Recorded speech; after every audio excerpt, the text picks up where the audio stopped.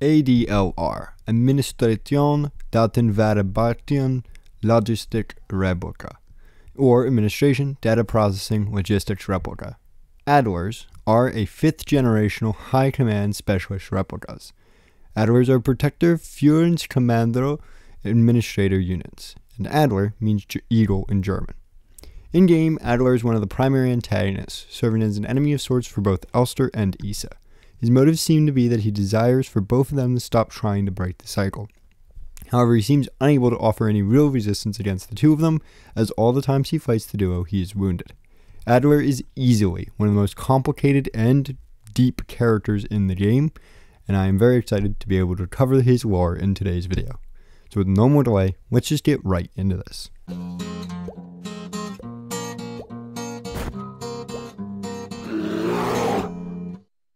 We should begin with the basic lore of the Adler units. Adler units are in charge of managing and overseeing all administrative tasks for the entire facility. They have the responsibility of allowing operational command units such as Falk to focus on the direct control of the Protector unit. Adler units are designed to work as a direct counterpart to the Falk commanders, serving as their helper by taking care of the necessary paperwork and calculations that is needed for the facility's facil- ability to work. Adlers are described as being best in isolation. They don't work well with each other.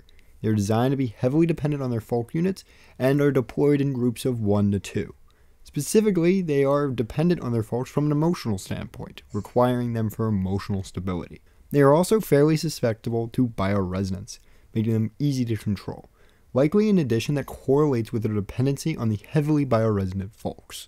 It should be noted they can get bored fairly easily, and require many fetish objects in order to remain stable. However, when we talk about Adler, the majority of people are talking about the S23 Adler that we know and love, known as Adler S2301. This is the one that we're going to spend the majority of the video talking about. And for the sake of this video, when I refer to Adler, I'm going to be referring to this Adler, not the entire, you know, type of replica. We should begin prior to the game. Prior to the events of the game, Adler served as S23's administrator, where he worked on keeping the facility in working order. However, Falk eventually fell ill, and during this time, he would resign himself to his dorms. Here in his dorms, he would write in his diary about the events occurring in the facility prior to the events of the game, as it slowly succumbed to the distortion. These notes portray Adler very different than the one we are used to, one who is scared and doesn't really know what's going on. Over the course of these diary entries, we slowly watch the old Adler turn into the Adler we know by the events of the game. And I'm now going to play some audio of me reading these diary entries in a private video that I already did. So if you've already watched that, feel free to skip ahead to the timestamp noted in the description. First up, we have date 84216. I've been fascinated by a peculiar piece of furniture I discovered in storage, a strange box with a removable dial in the front that was confiscated from a worker some time ago. I was instantly drawn to it, though I'm not sure why. When I put my ear on the mechanism, I can hear it faintly clicking, like a clock. Here, he's talking about the astrolabe and how it was confiscated by a protector in the past from a random Gestalt worker.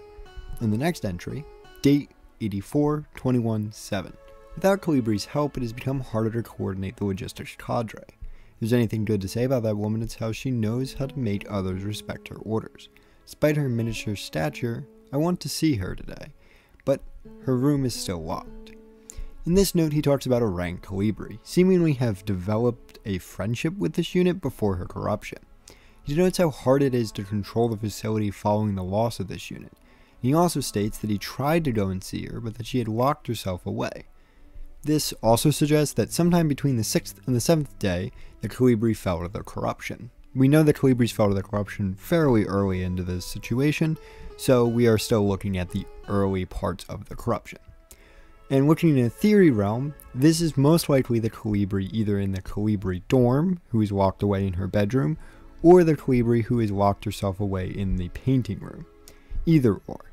Next, the date is 84218. I had a dream tonight, another memory of my Gestalt life, I believe. I was wearing my uniform. There was a young woman, her hair white as snow, and I was conducting some sort of test. I had a deck of cards with astronomical symbols on it, and I was asking her to guess which planet I was holding. In this note, he's describing what is likely persona degradation or gestalt memory resurfacing, though it could be something else such as Teen Yellow profile rewriting, or bioresonant memory influencing. It really depends what you know walk of theory you come from. It seems as though that his old Gestalt life, if we believe that this was a Gestalt life, was one of an investigator who administered bioresonant tests. It has been theorized that the person he's interrogating is either Ariane or Ariane's mother, mainly her mother because of the timing it would require for that test to be administered. Next, we have date 84219.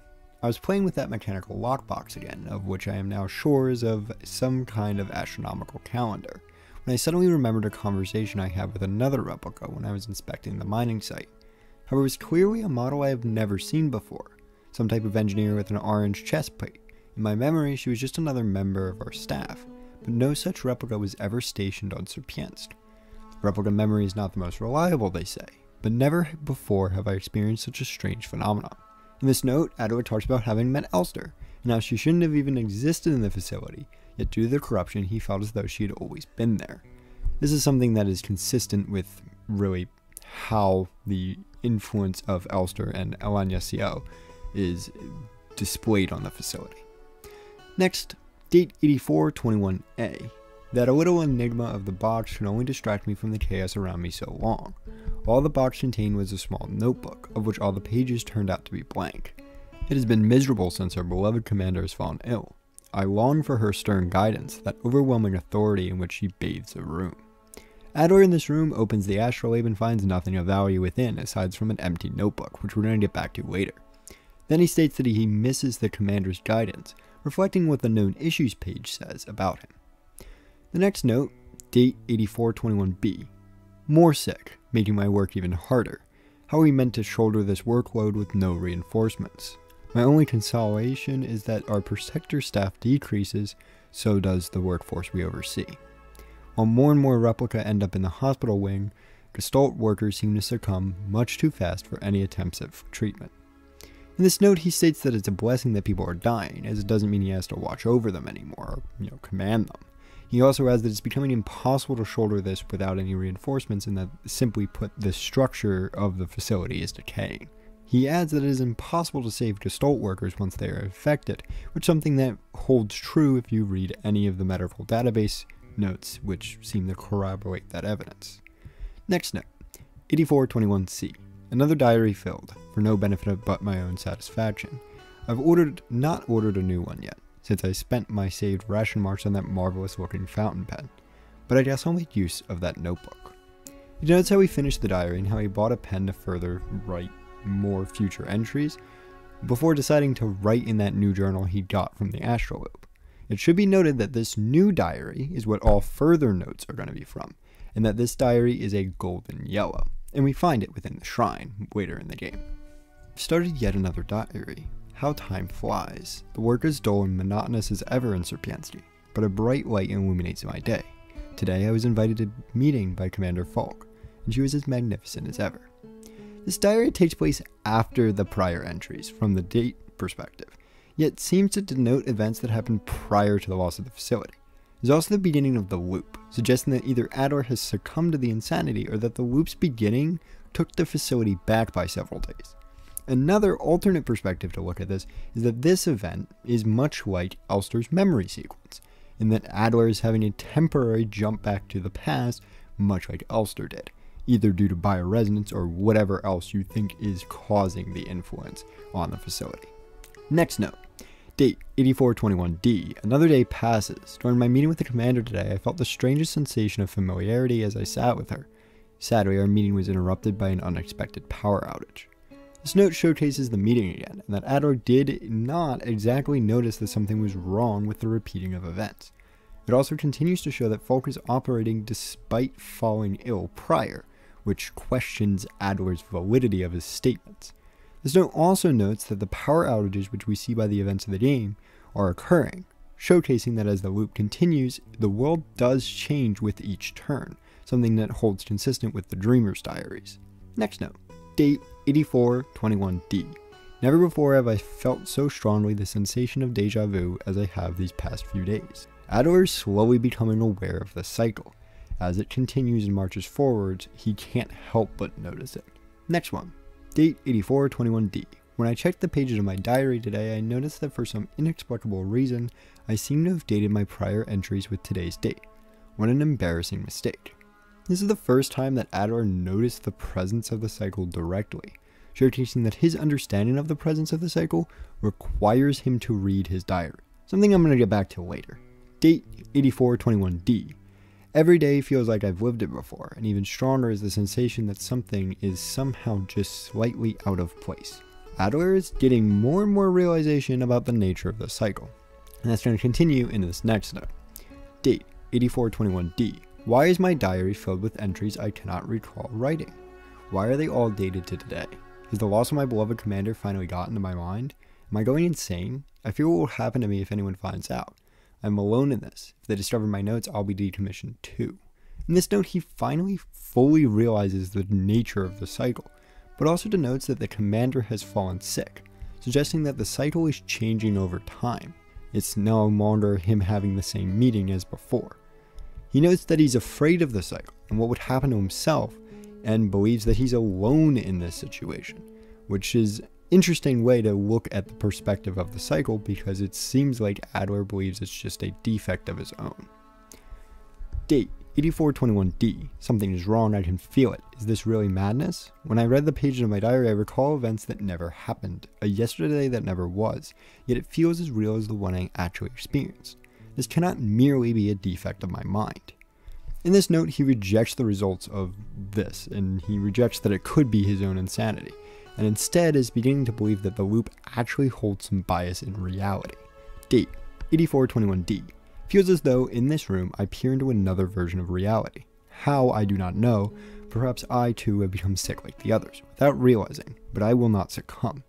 In this note, he accepts having fallen sick to the virus, and claims to have seen another version of reality while within this room.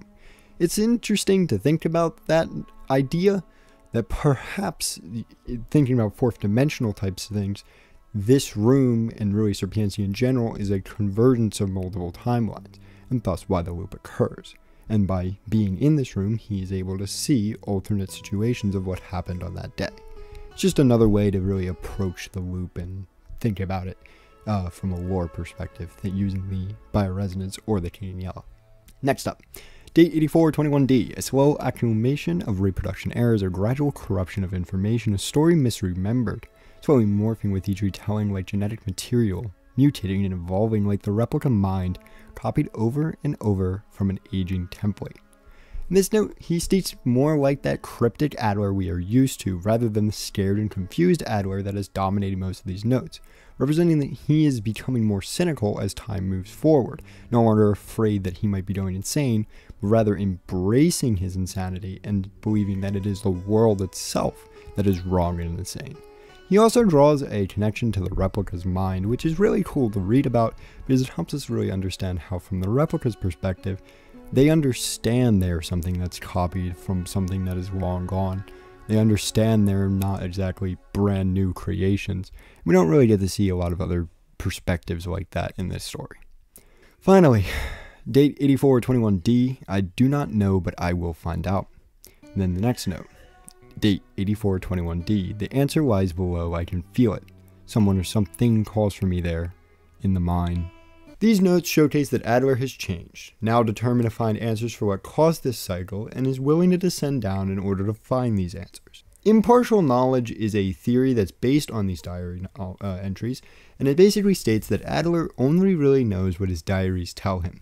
Thus, his knowledge of the loops is heavily flawed, and as of such, taking him as a solid reference for understanding the nature of the loops is a flawed perspective and indicates that his own opinions on the cycle and his statements regarding the fruitless nature of Elster's actions are made without strong knowledge of the truth. This theory can go even further if we consider the answers from flesh below theory. This theory states that Adler descended down into nowhere at the end of these diary entries in pursuit of answers, and due to this decision found the scale of his corruption greatly increase, before becoming the Adler we now know who wishes to kill Easter and Elster becoming in the process by finding these answers an agent of the king in yellow and that is something that is we're going to get back to One last note to note and talk about prior to the event of the game. Sieben, in her note, details Adler having been lost while she was trying to reinforce the facility, signifying that during the decay of the facility, Adler was not a major help to the other replicas. This is a piece of information that is honestly reinforced by his diary, where he details himself spending most of his time on the astrolabe and similar types of things while in his dorm. Some point before the game, and likely after his final diary entry, Adler returned to the cycle. While in this cycle, he would perform certain tasks over and over again. These tasks would include pushing Elster down the elevator, something that is theorized to have happened around 75 to 79 times if one uses math to calculate the number of dead bodies, and battling Isa in the mines. He would repeat these actions every single cycle until the cycle that occurs within the events of the game. During the events of the game, we are first introduced to Adler following the Mynah boss fight. He welcomes us into the facility following us defeating the boss. A visitor. Welcome to our facility. You've caught us at an unfortunate time. How can I help you? I'm looking for a gestalt. A worker at our facility. Let me see that picture. Alina Yeo. I believe she's one of our factory workers. However, Elster gives Adler the photograph of Yeo as well as the West Wing key, which upon seeing he discards and then pushes her down the elevator shaft, saying, You shouldn't have returned. We fall down the elevator before landing on a pile of dead versions of ourselves that fills the entire shaft from the sixth to the fifth floor.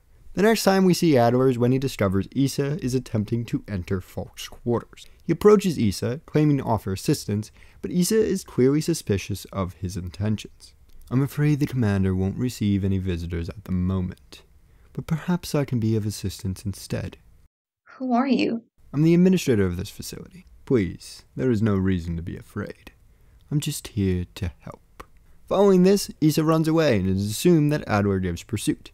Later, Elster gains access to Adler's quarters in the B8 floor of Sierpinski. She takes Adler's administrator key and uses it to enter the elevators to the mines. Isa continues running from Adler in these mines, who has now acquired a rifle and is still searching for her. I know you're here. I've done this countless times before. You don't belong here. Isa then sneaks up on Adler and stabs him in the right eye, causing him to fall into the hole as well as drop his rifle, which she then takes. Elster later finds Adler sitting at the red gate in nowhere, with Isa's knife still stabbed in his eye. He tells Elster that Falk crossed the gate and fell sick afterwards. It's impossible to move on. I've been here so many times, but I have never returned. The commander never talked about what she saw out there. I'm sure, whatever it was, it was what made her fall sick. Something about her changed when she returned. She was no longer our beloved leader, Falk. What waits beyond the threshold? Elster then ignores his warnings and uh, crosses the gate anyway, leaving Adler behind. As she continues beyond the gate into what is known as Eternity in the Code, we see an image of Adler and Falk at the Red Gate before Elster is fatally damaged. Following Elster's revival, we see a shot of Rotfront where Adler sits on the side of Falk's quarters. Here, he makes several statements about the nature of the decay, which reveals his own corruption, before kissing Falk and succumbing to the corruption himself, becoming a corrupted version of himself. You've changed. It's like everything was taken apart and put back together by someone who doesn't understand how it works. After Elster later defeats Falk and continues back to the gate, she is met by Adler, who is waiting for her. He tries to stop Elster from crossing, fearing that the world will be destroyed if she does. You've returned. Are you really willing to go through this again?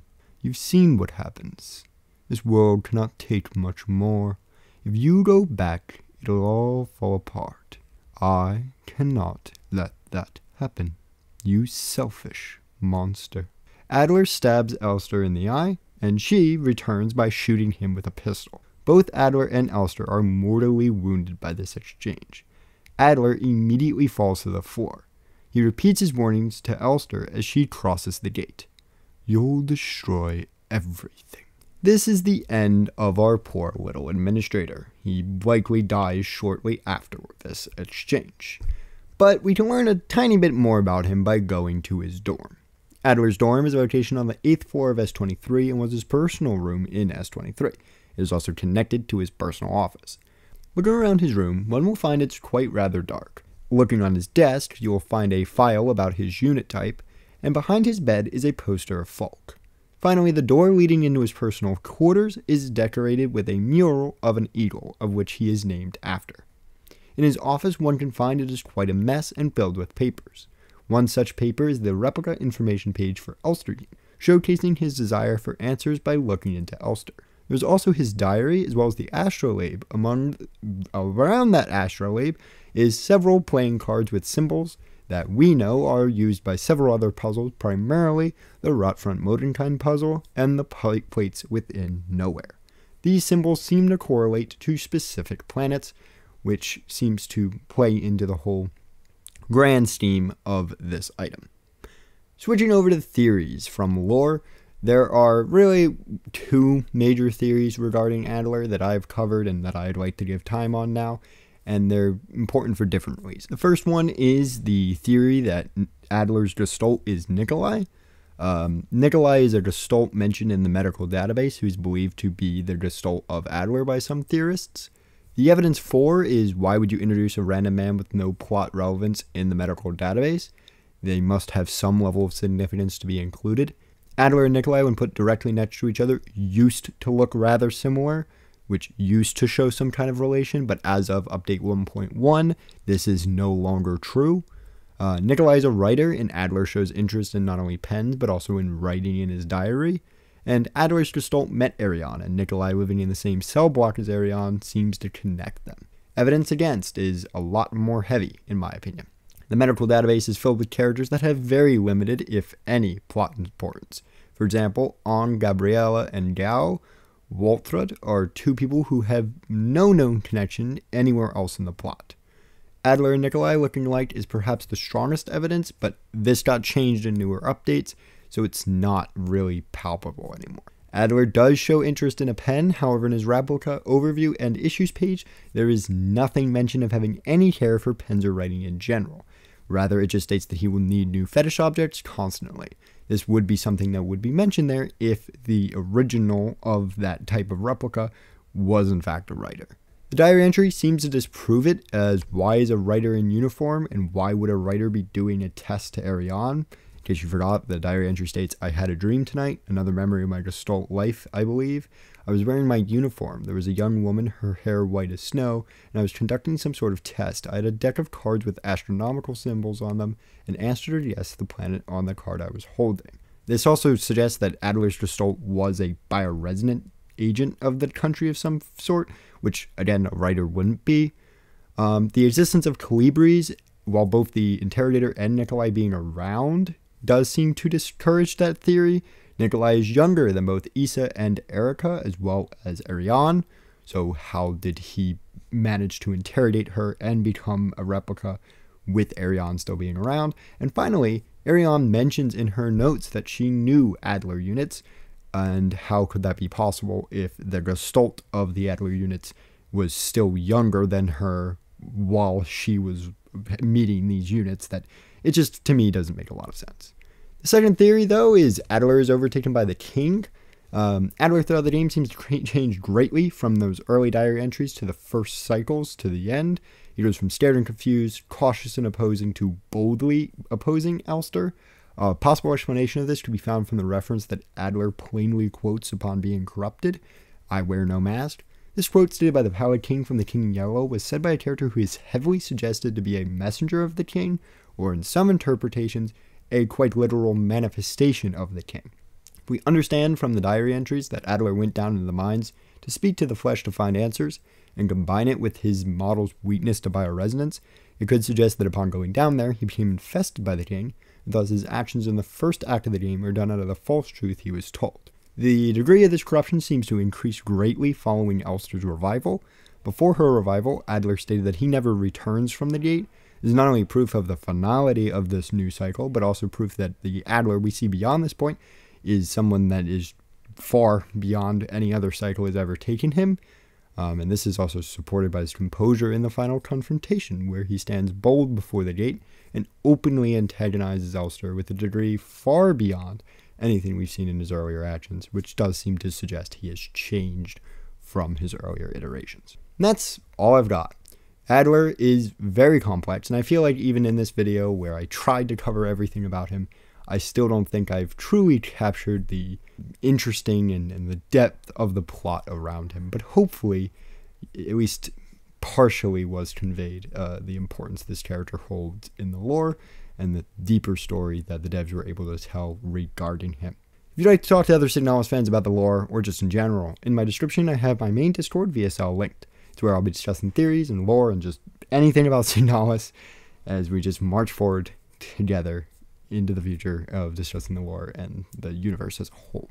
So hopefully some of y'all swing over. Finally, once again, if you enjoyed, always feel free to drop comments, likes, and subscribes. I really appreciate all of them. So with that, this has been Chris Beast, and I'll see you all, well, next time.